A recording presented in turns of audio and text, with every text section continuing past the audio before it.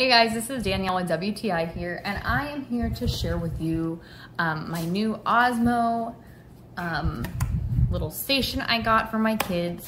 So I'm gonna show you the station real fast, and then I will give you a little show of the um, apps. So you put it in this little guy right here, and this is kind of like a reflection mirror.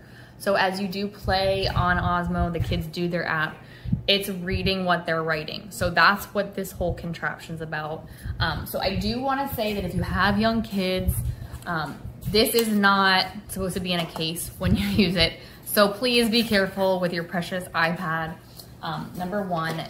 But I really like these apps. Um, my kids actually are interested in doing them. So what I appreciate is they have some learning apps and they have fun learning apps. So they do math and English and then they do art.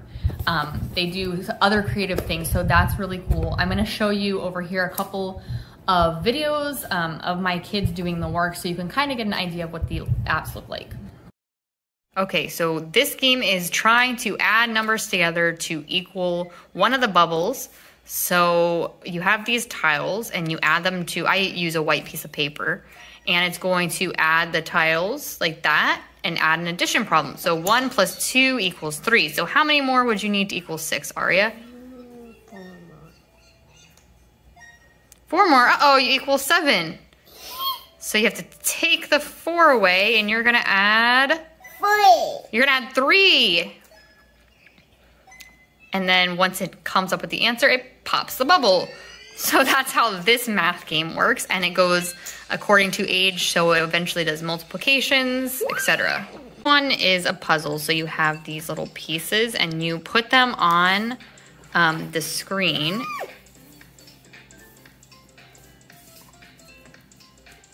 And it will tell you, see how it recognizes those are on there. So when you add a piece, it will recognize it on the screen and you can eventually go from there. See, like that doesn't work. It's not recognizing it. So uh, my daughter would have to move it around.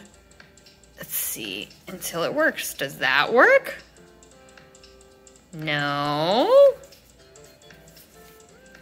Does that work? Yay! So it comes up with different puzzles like that. So I know those videos were long, but I think that they were a really great idea of what your kid's gonna be doing. Um, so this little set is one for making puzzles. This is the set for um, the tiles for the alphabet when your kids are creating words. And then this little set is for the numbers. I like these boxes. I like how they are labeled because I'm all about labeling things. And I like how they are stackable. So nice and neat. And you don't have to have a big bulky box or anything like that to keep your pieces together. Just as simple as that. So I highly recommend this system and that is my point of view.